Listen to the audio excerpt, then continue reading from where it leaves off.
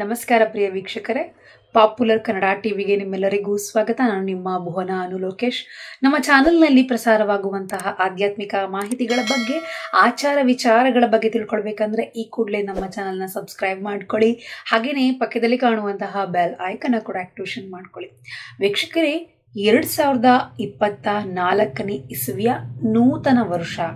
ಆಂಗ್ಲ ಕ್ಯಾಲೆಂಡರ್ ಪ್ರಕಾರವಾದಂತಹ ನೂತನ ವರ್ಷದ ಹೊಸ ವರ್ಷದ ಭವಿಷ್ಯ ಅನ್ನುವಂಥದ್ದು ದ್ವಾದಶ ರಾಶಿಗಳವರಿಗೆ ಯಾವ ಯಾವ ರೀತಿಯಾಗಿದೆ?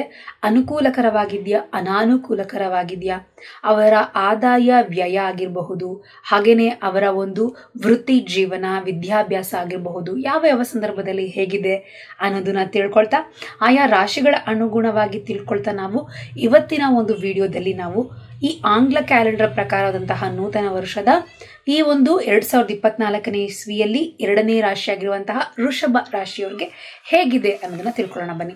ಈ ಋಷಭ ರಾಶಿಯವರು ಈ ಒಂದು ವರ್ಷ ಭವಿಷ್ಯದಲ್ಲಿ ಅವರ ಒಂದು ಜಾತಕದ ಫಲ ಅನ್ನುವಂಥದ್ದು ಹೇಗಿದೆ ಅಂತ ನೋಡಿದಾಗ, ವೃಷಭ ರಾಶಿಯವರ ಆದಾಯ ವ್ಯಯ ರಾಜಪೂಜಾ ಆಗಿರಬಹುದು, ಹವಾಮಾನ ಆಗಿರಬಹುದು ಹೇಗಿದೆ ಅನ್ನೋದನ್ನ ನೋಡ್ತಾ, ಇಲ್ಲಿ ವೃಷಭ ರಾಶಿಯವರ ಆದಾಯ ವ್ಯಯ ಅನ್ನುವಂಥದ್ದು ವೃತ್ತಿ ಜೀವನ ಆಗಿರಬಹುದು, ಇದೆಲ್ಲವನ್ನ ನೋಡಿಕೊಂಡಾಗ ಇಲ್ಲಿ ಈ ಒಂದು ರಾಶಿಗೆ ಸಂಬಂಧಪಟ್ಟ ಹಾಗೆ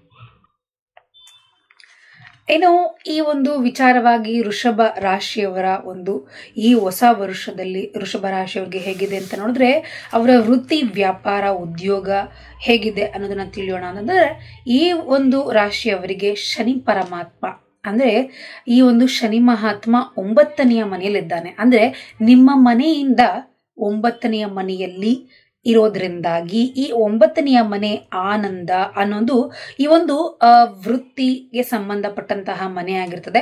ವೃಷಭ ರಾಶಿಯವರಿಗೆ ಶನಿಯ ಸ್ಥಾನ ಅನುಕೂಲಕರವಾಗಿದೆ. ಆದರೆ ಶನಿ ಮಹಾತ್ಮನ ಮನೆ, ಈ ಒಂದು ಮನೆ ಇವರಿಗೆ, ವೃಷಭ ರಾಶಿಯವರಿಗೆ ವೃತ್ತಿ, ವ್ಯಾಪಾರ, ಉದ್ಯೋಗದ ವಿಚಾರದಲ್ಲಿ ಬಹಳ ಬ್ಯುಸಿಯಾಗಿ ಇರುವಂತಹ ರೀತಿಯಾಗಿ ಬ್ಯುಸಿಯನ್ನ ಮಾಡ್ತಾನೆ ಬಹಳಷ್ಟು. ಆದರೆ ಬಿಡು, ಅಂದ್ರೆ ಬಿಡುವೆ ಇಲ್ಲದೆ ಕಷ್ಟಪಟ್ಟು ಕೆಲಸವನ್ನ ಮಾಡುವಂತಹದ್ದು ವಿದೇಶಕ್ಕೆ ಹೋಗಿ ಹೊಸ ಅವಕಾಶಗಳನ್ನು ದೊರೆಯುವಂತಹ ರೀತಿಯಾಗಿ ನಿಮಗೆ ಪ್ರೋತ್ಸಾಹಿಸುವಂಥದ್ದು. ಈ ರೀತಿಯಾಗಿ ನಿಮ್ಮನ್ನ ನೀವು ಬ್ಯುಸಿ ಮಾಡಿಕೊಳ್ಳುವಂತಹ ರೀತಿಯಲ್ಲಿ ಶನಿ ಮಹಾತ್ಮ ಫಲಗಳನ್ನು ನೀಡ್ತಾ ಹೋಗ್ತಾನೆ ಒಂಬತ್ತನೆಯ ಮನೆಯಲ್ಲಿ ಇದ್ಕೊಂಡು. ಹಾಗಾಗಿ ನೀವು ಈ ಒಂದು ಒಳ್ಳೆಯ ವಿಚಾರಗಳನ್ನ ಗಮನದಲ್ಲಿಟ್ಟುಕೊಂಡು ಇದನ್ನು ಸದುಪಯೋಗ ಪಡಿಸ್ಕೊಳ್ಳಿ. ವ್ಯಾಪಾರಸ್ಥರಾಗಿದ್ರೆ ವೃತ್ತಿ ಜೀವನದಲ್ಲಾಗಿರಬಹುದು ನಿಮ್ಮ ವ್ಯಾಪಾರದಲ್ಲೇ ಆಗಿರಬಹುದು, ವಿದ್ಯಾರ್ಥಿಗಳೇ ಆಗಿದ್ರೆ ಈ ಒಂದು ಒಂದು ಶನಿಯ ಸ್ಥಾನವನ್ನ ಅನುಕೂಲಕರವಾದಂತಹ ಮಾರ್ಗವನ್ನ ಉಪಯೋಗ ಮಾಡ್ಕೊಳ್ಳಿ ಅಂತ ತಿಳಿಸ್ತೇನೆ. ಏನು ಉದ್ಯೋಗಸ್ಥರು ಈ ವರ್ಷ ಪ್ರಮೋಷನ್ನ ನೀವು ಎಕ್ಸ್ಪೆಕ್ಟ್ ಮಾಡ್ತಾ ಇದ್ರೆ ಖಂಡಿತವಾಗಿ ಪ್ರಮೋಷನ್ನ ಪಡ್ಕೊಳ್ತೀರಿ. ಹೆಚ್ಚಿನ ಹಣವನ್ನ ಸಂಪಾದನೆ ಮಾಡ್ತೀರಿ ಈ ವರ್ಷ. ಆದರೆ ಕೆರಿಯರ್ನಲ್ಲಿ ಕೆರಿಯರ್ ಪರವಾಗಿ ಹೆಚ್ಚಿನ ಸ್ಟ್ರೆಸ್ ಅನ್ನ ಕೂಡ ಅನುಭವಿಸ್ತೀರಿ. ಯಾವಾಗ ನಿಮಗೆ ಉತ್ತಮ ಮಟ್ಟದಲ್ಲಿ ಪ್ರಮೋಷನ್ ಅನ್ನುವಂಥದ್ದು ಹೋಗ್ತದೆ, ಆ ಉನ್ನತ ಮಟ್ಟದ ಪ್ರಮೋಷನ್ ಅನ್ನುವಂಥದ್ದು ಅಷ್ಟೇ ನಿಮಗೆ ಸ್ಟ್ರೆಸ್ ಅನ್ನ, ಒತ್ತಡವನ್ನ ನೀಡ್ತದೆ. ಈ ವರ್ಷ ಈ ಒಂದು ಈ ವರ್ಷ ಏನು ನೀವು ಅನುಭವಿಸುವಂಥದ್ದೆಲ್ಲವೂ ಕೂಡ ತಡೆದುಕೊಳ್ಳಬೇಕಾಗುವಂಥದ್ದಾಗಿರ್ತದೆ ಈ ಒಂದು ಸ್ಟ್ರೆಸ್ ಅನ್ನ. ನಿಮ್ಮ ಮೇಲೆ ಹೆಚ್ಚಿನ ಜವಾಬ್ದಾರಿಗಳು ಅನ್ನುವಂಥದ್ದು ಇರ್ತದೆ ಕೆಲಸಗಳಲ್ಲಿ ಇನ್ನೂ ಹೆಚ್ಚಿನ ಕೆಲಸಗಳು ಅನ್ನುವಂಥದ್ದು ಬರ್ತದೆ. ಅಂದ್ರೆ ಇರುವಂತಹ ಕೆಲಸಗಳಲ್ಲಿಯೇ ಇನ್ನೂ ಹೆಚ್ಚಿನ ಕೆಲಸಗಳನ್ನ ಮಾಡಬೇಕಾದಂತಹ ಸಂದರ್ಭಗಳು ಅದರಿಂದ ನೀವು ಮೆಂಟಲಿ ತುಂಬಾ ಡಿಸ್ಟರ್ಬ್ ಆಗ್ತೀರಿ ಹಾಗೆಯೇ ಸ್ಟ್ರೆಸ್ ಅನ್ನ ಕೂಡ ಅನುಭವಿಸ್ತೀರಿ. ಅದರಿಂದ ನಿಮಗೆ ಹೆಚ್ಚಿನ ಆರ್ಥಿಕ ಪರಿಸ್ಥಿತಿಯ ಬಲ ಅನ್ನುವಂಥದ್ದು ಕೂಡ ಉತ್ತಮವಾಗ್ತದೆ. ಆರ್ಥಿಕ ಪರಿಸ್ಥಿತಿ ಉತ್ತಮವಾದ ಜೊತೆಗೆ ನಿಮ್ಮ ಮೆಂಟಲಿ ಒಂದು ಸ್ಟ್ರೆಸ್ ಅನ್ನುವಂಥದ್ದು ಆಗಿ ನೀವು ಒಂದು ಡಿಸ್ಟರ್ಬ್ ಆಗುವಂಥದ್ದು ಕೂಡ ನೀವು ನೋಡ್ತೀರಿ. ಇನ್ನು ಆರ್ಥಿಕ ವಿಚಾರದಲ್ಲಿ ಹೇಗಿದೆ ಅನ್ನೋದಾದರೆ, ಎರಡ್ ಸಾವಿರದ ಇಪ್ಪತ್ನಾಲ್ಕನೇ ಇಸವಿಯಲ್ಲಿ, ಆರಂಭದಲ್ಲಿ ಏಪ್ರಿಲ್ ಮಾಸದವರೆಗೂ ಕೂಡ, ಜನವರಿಯಿಂದ ಏಪ್ರಿಲ್ ಮಾಸದವರೆಗೂ ಕೂಡ ಕೆಲವು ಗ್ರಹಗಳ ಅನುಕೂಲ ಸ್ಥಾನದ ಪ್ರತಿಯಾಗಿ ಖರ್ಚುಗಳು ಹೆಚ್ಚಾಗ್ತದೆ. ಈ ಒಂದು ಕೆಲವು ಗ್ರಹಗಳ ಅನುಕೂಲಕರವಾದಂತಹ ಸ್ಥಿತಿಯಲ್ಲಿ ಇಲ್ದಲೇ ಇರುವಂತಹ ಕಾರಣದಿಂದಾಗಿ ಖರ್ಚುಗಳನ್ನ ಹೆಚ್ಚಿನ ಮಟ್ಟದಲ್ಲಿ ನೋಡ್ತೀರಿ, ವೃಷಭ ರಾಶಿಯಲ್ಲಿ ಇರುವಂತಹ ಅವರು ಈ ಒಂದು ಜನವರಿಯಿಂದ ಏಪ್ರಿಲ್ ಮಾಸದವರೆಗೂ ಕೂಡ ಗುರುಗ್ರಹ ಹನ್ನೆರಡನೆಯ ಮನೆಯಲ್ಲಿ ಇರ್ತಾನೆ. ಈ ಒಂದು ಜನವರಿಯಿಂದ ಏಪ್ರಿಲ್ ಮಾಸದವರೆಗೂ ಕೂಡ. ಹಾಗಾಗಿ ಯಾವಾಗ ಈ ಒಂದು ಹನ್ನೆರಡನೆಯ ಮನೆಯಲ್ಲಿ ಗುರು ಇರ್ತಾನೆ ಆ ಒಂದು ಗುರು ಅನ್ನುವಂಥವನು ಲಾಭದಲ್ಲಿ ನಷ್ಟವನ್ನ ಉಂಟು ಮಾಡ್ತಾನೆ ಲಾಭದಲ್ಲಿ ನಷ್ಟ ಅನ್ನೋದು ಎರಡೂ ಕೂಡ ನಿಮಗೆ ಸೂಚಿಸ್ತಾ ಇದೆ. ಈ ಒಂದು ಈ ಒಂದು ಜನವರಿಯಿಂದ ಏಪ್ರಿಲ್ ವರೆಗೂ ಕೂಡ ನಿಮಗೆ ಲಾಭವೂ ಕೂಡ ಇರ್ತದೆ. ಲಾಭದಿಂದ ನಷ್ಟಗಳನ್ನ ಕೂಡ ನೀವು ನೋಡ್ತೀರಿ. ಈ ರೀತಿಯಾಗಿ ನಿಮಗೆ ಎರಡು ಮಿಶ್ರಮ ಫಲಿತಾಂಶಗಳನ್ನ ನೀಡ್ತಾನೆ. ಒಂದು ಕಡೆ ನಿಮಗೆ ನೀಡುವಂತದಾದ್ರೆ ಒಂದು ಕಡೆ ನಷ್ಟವನ್ನ ಕೂಡ ನೀಡುವಂತಹದ್ದಾಗ್ತಾ ಹೋಗ್ತದೆ. ಇನ್ನು ವೃಷಭ ರಾಶಿಯವರಿಗೆ ಶುಕ್ರ, ಆ ಜನವರಿ ಹದಿನೈದರಿಂದ ಜೂನ್ ಹದಿನೈದರ ವರ್ಗ ತಾರೀಕಿನವರೆಗೂ ಕೂಡ ನಿಮಗೆ ಅನುಕೂಲಕರದಂತಹ ಸ್ಥಾನದಲ್ಲಿ ಇರ್ತಾನೆ. ಇದರಿಂದಾಗಿ ಆರ್ಥಿಕ ವಿಷಯದಲ್ಲಿ ಏನು ನೀವು ಎಷ್ಟರ ಮಟ್ಟಿಗೆ ಹದಗೆಟ್ಟರೂ ಕೂಡ ನಿಮಗೆ ಬರಬೇಕಾದಂತಹ ಮಾರ್ಗದಿಂದ ಹಣಕಾಸುಗಳು ಒದಗಿ ಬರುವಂಥದ್ದು ಆಗ್ತಾ ಹೋಗ್ತದೆ.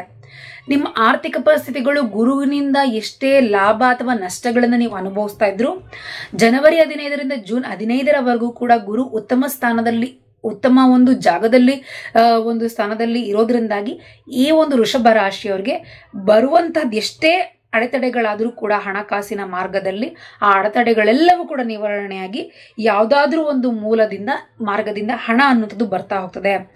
ಆದರೆ ಆ ಹಣ ಯಾವುದ, ಯಾವುದೇ ಒಂದು ತೊಂದರೆ ಬ, ಬ- ಬ- ರೀತಿಯಾಗಿ ಈ ರಾಶಿಯ ಅಧಿಪತಿ ನೋಡ್ಕೊಳ್ತಾನೆ. ಅಂದರೆ ಬರುವಂತಹ ಹಣ, ಬರುವಂತಹ ಮಾರ್ಗಗಳಿಂದಲ್ಲ ಅದು ಯಾವುದೇ ರೀತಿಯ ತೊಂದರೆಗಳು ಆಗದಲೇ ಈ ಒಂದು ರಾಶಿಗೆ ಶುಕ್ರನೇ ಅಧಿಪತಿಯಾಗಿರೋದ್ರಿಂದಾಗಿ ಆ ರಾಶಿಯವರಿಗೆ ಸುರಕ್ಷಿತವಾದಂತಹ ಹಣಕಾಸುಗಳನ್ನು ಒದಗಿ ಬರುವ ಹಾಗೆ ನೋಡ್ಕೊಳ್ತಾನೆ. ಇನ್ನು ಅನುಕೂಲಕರವಾಗಿ ಎನ್ನುವಂಥದ್ದು ಒಂದು ಕಡೆ ಹಣಕಾಸು ಅನ್ನುವಂಥದ್ದು ಒದಗಿ ಬರ್ತದೆ. ಇನ್ನು ಫೆಬ್ರವರಿ ಅನ್ನ ಇಪ್ಪತ್ತೊಂದರವರೆಗೂ ತಾರೀಕಿನವರೆಗೂ ಕೂಡ ಇಪ್ಪತ್ತೊಂದನೇ ತಾರೀಕಿನಿಂದ ಏಪ್ರಿಲ್ ವರೆಗೂ ಕೂಡ ಬುಧಗ್ರಹ ಅನುಕೂಲಕರ ಸ್ಥಾನದಲ್ಲಿ ಇರ್ತಾನೆ. ಆ, ಧನದ ವಿಚಾರದಲ್ಲಿ ಕಷ್ಟಪಡುವಂತಹ ಪರಿಸ್ಥಿತಿಗಳು ಈ ವರ್ಷ ಇರೋದಿಲ್ಲ. ನೋಡಿ ವಿಚಾರ ಅನ್ನುವಂಥದ್ದಾದ್ರೆ ಬುಧನು ಕೂಡ ಅನುಕೂಲಕರಂತಹ ಸ್ಥಾನದಲ್ಲಿ ಇರೋದ್ರಿಂದಾಗಿ ಬಿಸ್ನೆಸ್ ಪರವಾಗಿ ಕೂಡ ನಿಮ್ಗೆ ಅನುಕೂಲವಾಗುತ್ತೆ. ಹಣಕಾಸಿನ ವಿಚಾರದಲ್ಲಿ ನೀವು ಹೆಚ್ಚಿನ ಕಷ್ಟಪಡುವಂತಹ ಅವಶ್ಯಕತೆನೇ ಇರೋದಿಲ್ಲ ಈ ವರ್ಷದಲ್ಲಿ. ಇನ್ನು ಶನಿ ಒಂಬತ್ತನೆಯ ಮನೆಯಲ್ಲಿ ಇರೋದ್ರಿಂದಾಗಿ ನಿಮಗೆ ಆರ್ಥಿಕ ಪರಿಸ್ಥಿತಿಯ ವಿಚಾರದಲ್ಲಿ ಒಳ್ಳೆಯ ಫಲಿತಾಂಶಗಳನ್ನು ನೀಡ್ತಾನೆ. ಶುಕ್ರನು ಅನುಕೂ ಅನುಕೂಲಿಸ್ತಾನೆ. ಶನಿಯೂ ಕೂಡ ಅನುಕೂಲಿಸ್ತಾನೆ. ಬುಧನೂ ಕೂಡ ಅನುಕೂಲಿಸೋದ್ರಿಂದಾಗಿ ಎರಡ್ ಸಾವಿರದ ಇಪ್ಪತ್ನಾಲ್ಕರಲ್ಲಿ ನಿಮಗೆ ಫೈನಾನ್ಷಿಯಲ್ ಮ್ಯಾಟರ್ನಲ್ಲಿ ಯಾವುದೇ ರೀತಿಯಾದಂತಹ ಟೆನ್ಷನ್ನ ಪಡುವಂತಹ ಅವಶ್ಯಕತೆ ಇರೋದೇ ಇಲ್ಲ. ನಿಮಗೆ ನಾ ಒಂದು ನಾಲ್ಕು ಗ್ರಹಗಳು ಕೂಡ ಅನುಕೂಲಿಸ್ತಾ ಇದ್ದಾರೆ. ಶನಿ ಆಗಿರ್ಬೋದು, ಗುರು ಆಗಿರಬಹುದು ಹಾಗೆಯೇ ಬುಧ ಆಗಿರ್ಬೋದು ಶುಕ್ರನಾಗಿರ್ಬೋದು ಒಳ್ಳೆಯ ರೀತಿಯಾಗಿ ನಿಮಗೆ ಆಯಾ ಸಮಯದಲ್ಲಿ ನಿಮಗೆ ಈ ತಿಂಗಳು ಇಲ್ಲಪ್ಪ ನನ್ನ ಕೈಲಿ ಹಾಗಲ್ಲ ಅನ್ನುವಂಥದ್ದಾದ್ರೆ ಯಾವುದಾದ್ರೂ ಒಂದು ಗ್ರಹದ ಒಂದು ಅನುಕೂಲಕರದಂಥ ಸ್ಥಾನದಿಂದ ನಿಮಗೆ ಹಣಕಾಸು ಒದಗಿ ಬರುವಂಥದ್ದಾಗ್ತಾ ಹೋಗ್ತದೆ ಎರಡು ಸಾವಿರದ ಇಪ್ಪತ್ನಾಲ್ಕರಲ್ಲಿ ಮೇ ಒಂದರಂದು ಗುರು ಮೊದಲನೆಯ ಮನೆಯಿಂದ, ಮೊದಲನೆಯ ಮನೆಯಲ್ಲಿರ್ತಾನೆ. ಮೊದಲನೆಯ ಮನೆಯನ್ನು ಬಿಟ್ಟು ಎರಡು ನಿಮ್ಮ ಎರಡನೆಯ ಮನೆಗೆ ಸಾರಿ ನಿಮ್ಮ ಮೊದಲನೇ ಮನೆಗೆ ಪ್ರವೇಶವನ್ನ ಮಾಡ್ತಾನೆ. ಅಂದ್ರೆ ಹನ್ನೆರಡನೇ ಮನೆಯಿಂದ ನಿಮ್ಮ ಮೊದಲನೇ ಮನೆ, ಅಂದ್ರೆ ನಿಮ್ಮದೇ ಆದಂತಹ ಸ್ವಂತಹ ಮನೆಗೆ ಗುರು ಬರೋದ್ರಿಂದಾಗಿ ಮೇಷ ರಾಶಿಯವರಿಗೆ ಈ ಒಂದು ವೃಷ ಮೇಷ ರಾಶಿಯಿಂದ ವೃಷಭ ರಾಶಿಗೆ ಬರ್ತಾ ಇರೋದ್ರಿಂದಾಗಿ, ನಿಮ್ಮ ರಾಶಿಗೆ ಪ್ರವೇಶಿಸ್ತಾ ಇರೋದ್ರಿಂದಾಗಿ ಆರ್ಥಿಕ ಪ್ರಯೋಜನಗಳು ಹೆಚ್ಚಾಗ್ತಾ ಹೋಗ್ತದೆ. ನೋಡಿ, ಮೇ ಒಂದರವರೆಗೂ ಮಾತ್ರ ಸ್ವಲ್ಪ ನಿಮ್ಗೆ ಅಲ್ಲಿ ಇಲ್ಲಿ ಕಷ್ಟ ಆಗ್ಬೋದು. ಆ ಕಷ್ಟಗಳು ಕೂಡ ನಿಮ್ಗೆ ಶುಕ್ರನು ನೀಡೋದಿಲ್ಲ. ಶುಕ್ರನು ಕೂಡ ಯಾವುದೋ ಒಂದು ರೀತಿಯಾದಂತಹ ಹಣಕಾಸು ಬರುವಂತಹ ಮಾರ್ಗಗಳಲ್ಲಿ ಯಾವುದೇ ರೀತಿಯಾದಂತಹ ಅಡೆತಡೆಗಳಾಗದೆ ತೊಂದರೆಗಳಾಗದೆ ನಿಮಗೆ ಸು ಸುಗಮವಾಗಿ ಹಣಕಾಸುಗಳು ಒದಗಿ ಬರುವ ಹಾಗೆ ನಿಮಗೆ ಅನುಕೂಲಿಸ್ತಾನೆ. ಮೇ ಒಂದರ ನಂತರದಲ್ಲಿಯೂ ಕೂಡ ನಿಮಗೆ ಗುರು ನಿಮ್ಮದೇ ಸ್ವಸ್ಥಾನಕ್ಕೆ ಬರೋದ್ರಿಂದಾಗಿ ಸಾಕಷ್ಟು ಅನುಕೂಲತೆಗಳು, ಪ್ರಯೋಜನಗಳು ಆಗ್ತಾ ಹೋಗ್ತದೆ. ಏನು ಎರಡ್ ಸಾವಿರದ ಇಪ್ಪತ್ನಾಲ್ಕು ಮೇ ಒಂದರವರೆಗೂ ಕೂಡ ಈ ಒಂದು ಕಡೆ ಏನು ಒಂದು ಕಡೆ ಖರ್ಚುಗಳು, ಇನ್ನೊಂದು ಕಡೆ ಲಾಭ ಅನ್ನುವಂತಿರ್ತದೆ ಮೇ ಒಂದರವರೆಗೂ. ಆದರೆ ಮೇ ಒಂದರ ನಂತರದಲ್ಲಿ ಗುರುಸ್ಥಾನ ಬದಲಾವಣೆಯಿಂದಾಗಿ ಆರ್ಥಿಕವಾಗಿ ಅಭಿವೃದ್ಧಿ ಅನ್ನುವಂಥದ್ದು, ಹಣ ಹಣಕಾಸುಗಳು ಕೂಡ ಕೂಡಿ ಬರುವಂತಹದ್ದು, ಭವಿಷ್ಯಕ್ಕಾಗಿ ಹಣವನ್ನ ಕೂಡಿಡುವಂಥದ್ದು, ಮುಖ್ಯವಾದಂತಹ ವಿಚಾರದಲ್ಲಿ ನೀವು ವಿಜಯವನ್ನ ಸಾಧಿಸ್ತೀರಿ. ಗುರುವಿನ ಈ ಒಂದು ಬದಲಾವಣೆ ಅನ್ನುವಂಥದ್ದು, ವೃಷಭ ರಾಶಿಗೆ ಗುರು ಬದಲಾವಣೆ ಆಗುವಂಥದ್ದು ಮೇ ಒಂದರಿಂದ ಮುಖ್ಯವಾದಂತಹ ನೀವು ಅನ್ಕೊಂಡಂತಹ ವಿಚಾರಗಳಲ್ಲಿ ನಿಮ್ಮದೇ ಆದಂತಹ ಮೇಲ್ಗೈಯನ್ನ ಸಾಧಿಸ್ತೀರಿ.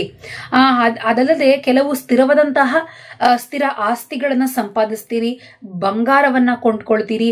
ಅದೇ ಸಮಯದಲ್ಲಿ ವೃಷಭ ರಾಶಿಯವರಿಗೆ ನಿಮ್ಮ ಮಕ್ಕಳಿಂದ ಇತರ ವಿಚಾರಗಳಲ್ಲಿ ಹಣಕಾಸನ್ನ ಪಡೆಯುವಂತ ಅವಕಾಶಗಳು ಕೂಡ ಬರ್ತದೆ. ಮಕ್ಕಳ ಪರವಾಗಿಯೂ ಕೂಡ ಒಳ್ಳೆತಾಗುತ್ತೆ ಹಾಗೂ ಇತರ ವಿಚಾರಗಳಲ್ಲಿಯೂ ಕೂಡ ನೀವು ಹಣಕಾಸುಗಳನ್ನ ಪಡೆಯುವಂತಹ ಸಂದರ್ಭಗಳು ಕೂಡ ಬರ್ತದೆ, ಅವಕಾಶಗಳು ಕೂಡ ಬರ್ತದೆ. ಈ ರೀತಿಯಾಗಿ ಅನುಕೂಲಕರವಾಗಿದೆ ಮೇ ಒಂದರ ನಂತರದಲ್ಲಿ. ಮೇವರೆಗೂ ಕೂಡ ನಿಮಗೆ ಸ್ವಲ್ಪ ಹಾಗೆ ಹೀಗೆ ಇರ್ತದೆ. ಮೇ ಒಂದರ ನಂತರದಲ್ಲಿ ಅನುಕೂಲಕರವಾಗಿದೆ. ಇನ್ನು ಎರಡ್ ಸಾವಿರದ ಇಪ್ಪತ್ನಾಲ್ಕು ಮೇ ಒಂದರಿಂದ ಗುರುವಿನ ಗುರು ನಿಮ್ಮ ರಾಶಿಯಲ್ಲಿ ಬಂದಾಗ ನಿಮಗೆ ಅದೃಷ್ಟ ಅನ್ನುವಂಥದ್ದು ಬದಲಾವಣೆ ಆಗ್ತದೆ.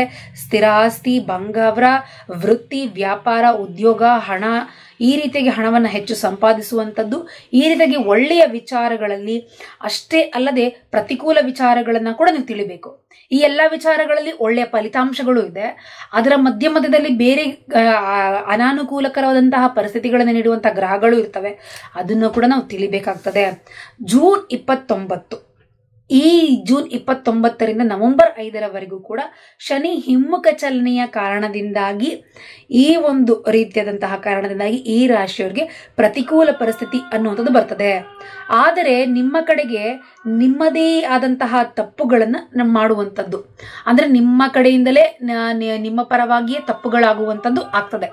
ಈ ಒಂದು ಶಮ್ನಿಯ ಹಿಮ್ಮುಖ ಚಲನೆಯಿಂದಾಗಿ ಸ್ವಲ್ಪ ನೀವು ಎಲ್ಲಾದರೂ ನಿಮ್ಮ ಒಂದು ವ್ಯವಚಾರಗಳಲ್ಲಿ ವಿವೇ ವಿವೇಚನೆಗಳಿಗೆ ಬಿಟ್ಟಂತೆ ನಿಮ್ಮದೇ ಇರದಂತಹ ತಪ್ಪುಗಳಾಗುವಂಥದ್ದು, ನಿಮ್ಮಿಂದಲೇ ತಪ್ಪುಗಳು ನಿಮ್ಮ ಕಡೆಯಿಂದಲೇ ನಿಮ್ಮಿಂದಲೇ ತಪ್ಪುಗಳು ನಡೆಸ್ತಾನೆ ಶನಿ ಅನ್ನುವಂಥವನು.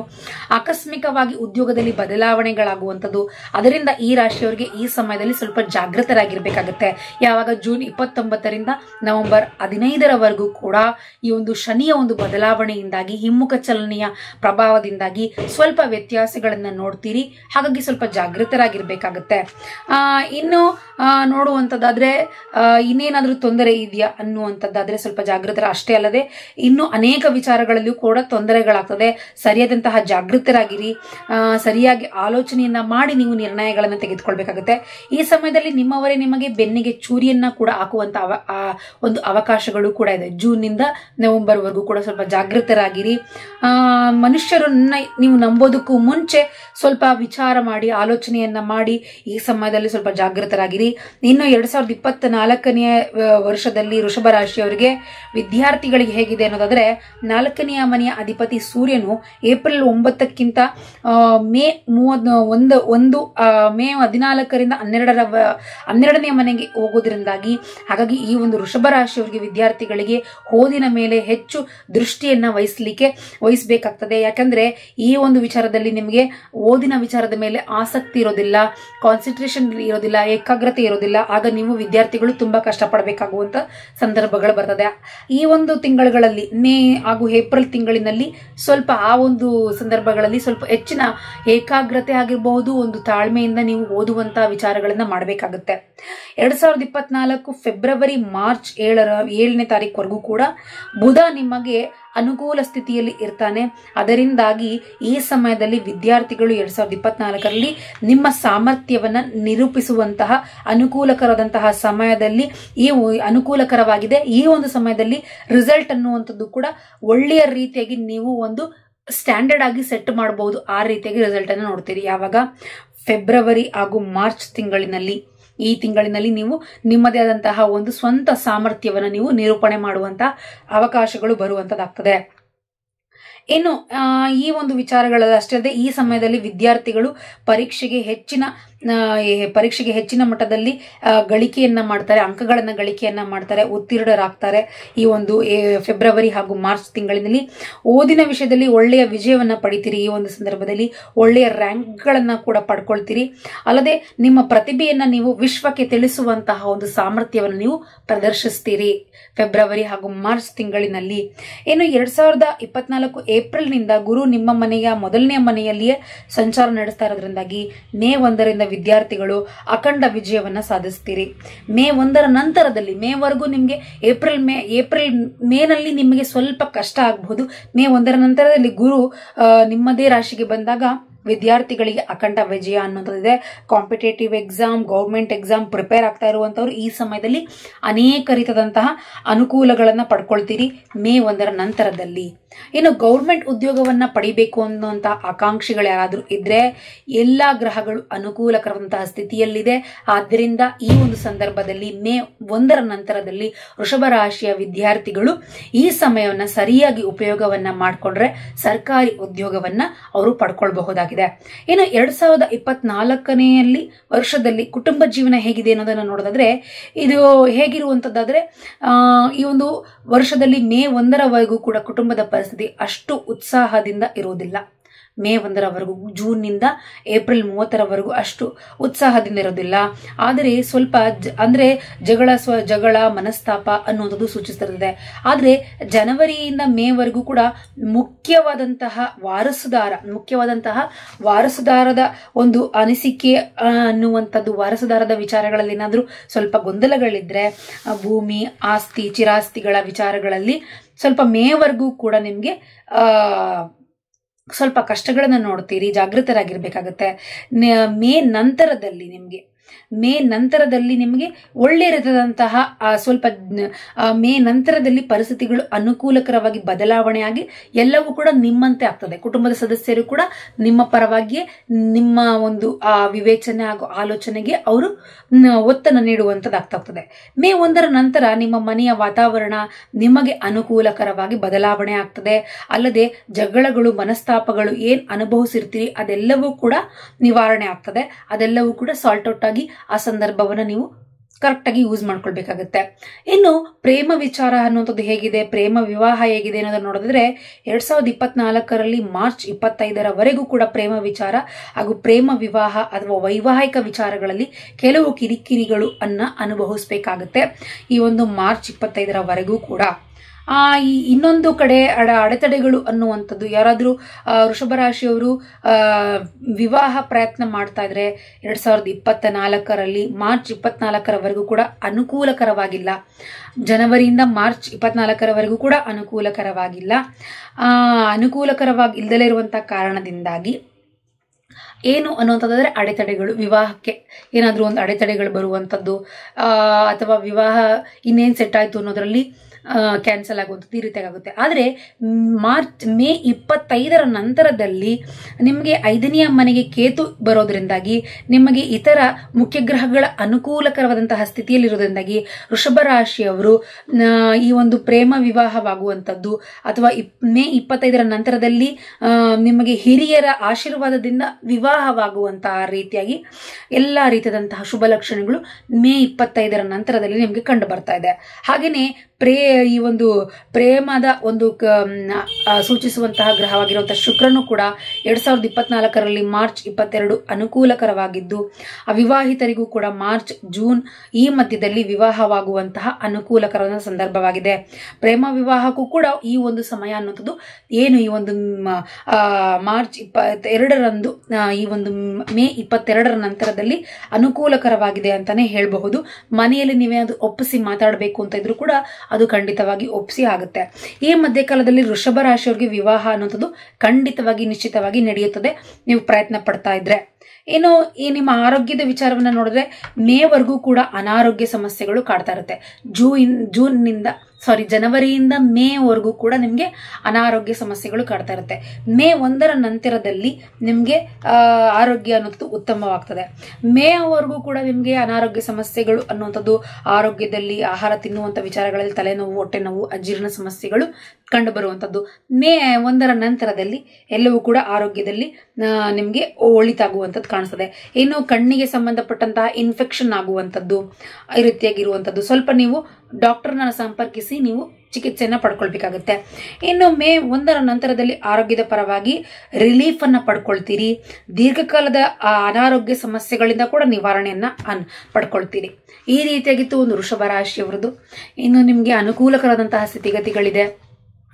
ಒಳ್ಳೆ ಒಳ್ಳೆಯ ಸಮಯಗಳಲ್ಲಿ ಒಳ್ಳೆ ಒಳ್ಳೆಯ ನಿರ್ಧಾರಗಳನ್ನು ತೆಗೆದುಕೊಂಡು ಆಯಾ ಸಮಯದಲ್ಲಿ ಏನೇನು ಮಾಡಬೇಕು ಅನ್ನೋದನ್ನ ಮಾಡ್ಕೊಳ್ತಾ ಬಂದ್ರೆ ಅನುಕೂಲಕರವಾಗಿದೆ ಈ ಒಂದು ಎರಡು ಸಾವಿರದ ಇಪ್ಪತ್ತ ನಾಲ್ಕನೆಯ ಒಂದು ವರ್ಷ ಭವಿಷ್ಯ ಅನ್ನುವಂಥದ್ದು ರಾಶಿಯವರಿಗೆ. ಈ ರೀತಿಯಾಗಿತ್ತು ರಾಶಿಯವರ ಒಂದು ಎರಡು ಸಾವಿರದ ಇಪ್ಪತ್ನಾಲ್ಕನೆಯ ವರ್ಷ ಭವಿಷ್ಯ. ನೀವು ಕೂಡ ನಿಮ್ಮ ರಾಶಿಯನ್ನು ತಿಳ್ಕೊಂಡು ನಮ್ಮ ಚಾನಲ್ನಲ್ಲಿ ಪ್ರಸಾರವಾಗುವಂತಹ ವರ್ಷ ಭವಿಷ್ಯನ ನೀವು ತಿಳ್ಕೊಳ್ಳಿ ಅಂತ ತಿಳಿಸ್ತಾ ಎಲ್ರಿಗೂ ಒಳ್ಳೆಯದಾಗಲಿ. ಧನ್ಯವಾದಗಳು. ನೂತನ ವರ್ಷದ ಶುಭಾಶಯಗಳು.